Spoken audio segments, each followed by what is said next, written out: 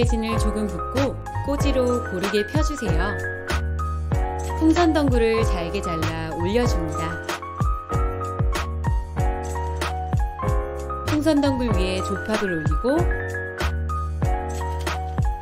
전호를 조금씩 잘라 꽃 옆에 배치해주세요.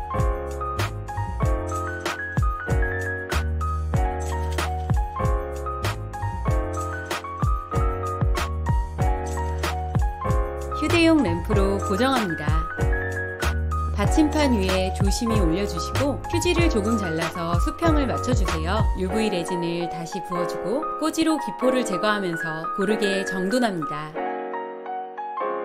UV 램프에 넣고 3분간 경화하면 마스크 착용 시 필수품 아파 마스크 스트랩이었어요.